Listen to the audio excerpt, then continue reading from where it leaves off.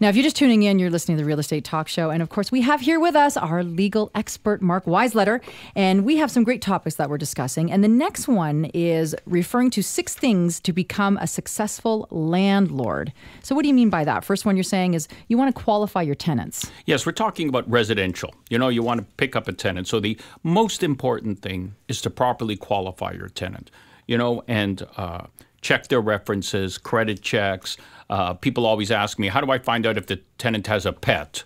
Go on Facebook. if they have a pet, there'll be a picture of them on Facebook. Isn't that such a brilliant If, you, tip? if you're Yeah. worried about uh, pets, go on Facebook. You know, go on YouTube. If they ride in a shopping cart down a hill into a tree, you really don't want them on your property as a tenant. so if- check them out a little bit on social media. But another great advantage, Aaron, is you know when there's a credit challenge tenant, it's not it's now possible to actually take upfront rent in advance if you properly word it in your lease. So if the So tenant changes to the legislation now, Mark? Yes, there was a great case which basically said as long as the tenant offers upfront rent, you can take three six a year's rent in advance. So you've got to be very careful to make sure the language in your lease, uh, and that's one why one reasons people pick up my own lease with clauses because it has that. Uh, but it says that you've got to make sure the tenant is offering the upfront rent and the landlord's accepting it. If you make it a requirement, you're going to have to give it back. Yeah, no, there, there'll be And problems. that's there. one word. Yeah. I mean, think about it. If you just were, right, tenant agrees or the tenant offers, one word, huge difference. And you have this already for people. You have Yes, I these have a guide for Ontario landlords. It's available on my website, but uh, uh, people find this extremely helpful. There's a lot of tips in there that landlords can use. All right. Well, Simon, you preached about this number two point here, which Absolutely. is treat your tenants well, right? Well, I mean, it's, it's a customer service question, isn't it?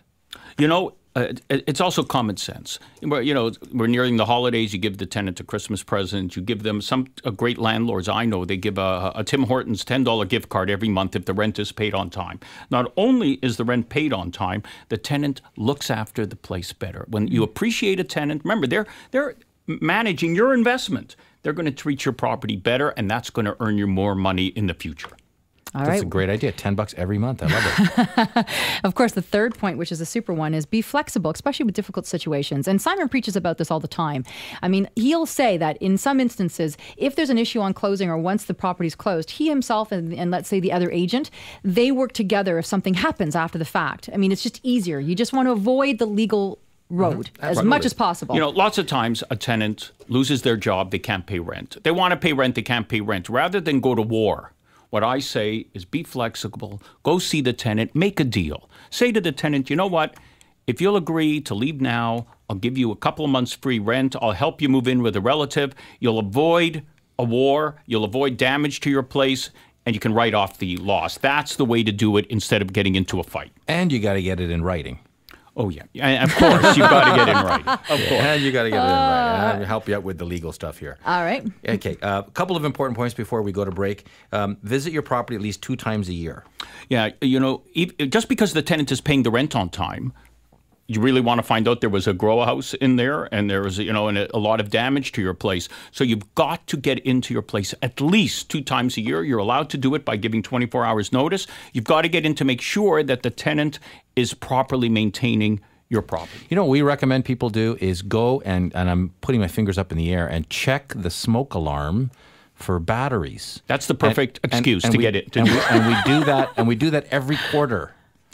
And that's when you drop off the gift card. So you can, you know, you can also be efficient with your time. And, you- and use Absolutely. it- Great and- idea. And, and absolutely, you need to know what's going on. For sure. And how about tenants when there's two of them?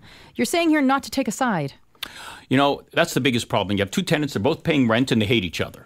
So they're both complaining to you. And now what do you do? You want them to get along. You know, the main thing is, is help them, don't take sides. Try to bring in a third party, a mediator, and help them to work it out between themselves. There are some even private mediation services that are free in the city that you can look up. But that's the key is help them to work it out. Don't take sides. Don't go to war. Great information as always, but I just want to remind everyone as well use the updated, use the correct contracts. And Google doesn't have that. You know, I've seen people go onto Google and find leases that are valid in Florida or Utah, but have nothing to do with Ontario. So you got to use the current contracts, you got to use the current forms for uh, no, for notices to vacate, termination of tenancies. I mean, you know what I'm talking about. I'll give you about. something. If you use some of those old forms, they don't have, as an example, the address for service of the landlord. If you don't have in your lease the service address for the landlord, and then you serve an eviction notice and get into court five months later, then you just throw it out hmm. because your lease was no good to begin with. That's why it's so important to have the proper paperwork right from the start. Oh, Mark Weisleder, you are just awesome. Thank you, Aaron. That's it's the so cover good of to a see book. you. You are, Mark Weisleder, you are just awesome. Yeah. On bookshelves now. on bookshelves now. We, we have, you just have to write the book. Mark, great as always. Got to have you back. Um, Thank and, you. And again, to reach out to Mark for any legal questions, uh, he provide real estate law services. Go to realestatetalkshow.ca. Uh, look for Mark on our site. Ask a question. We'll get we'll get you to him. yeah, absolutely. Well done. Thank you. See you soon.